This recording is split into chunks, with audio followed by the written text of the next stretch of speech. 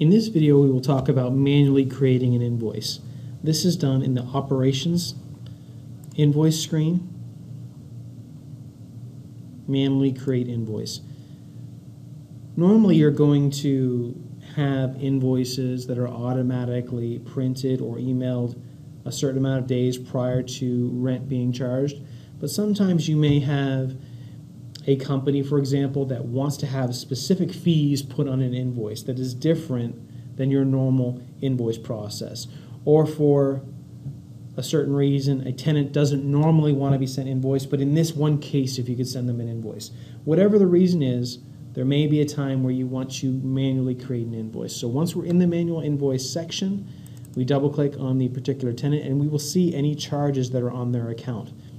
If we wanted both charges in this case to show on the manual invoice, we highlight each charge one at a time and click Add to Invoice. Maybe we don't want one of these charges, we could remove it. From the very beginning, we could only choose one charge if we wanted to.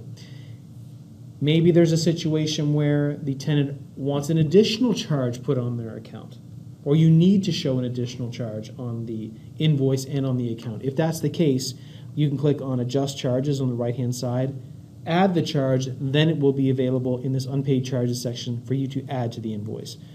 Once the charge or charges have been added to the invoice at the bottom, we can preview and print or preview and email the respective invoice.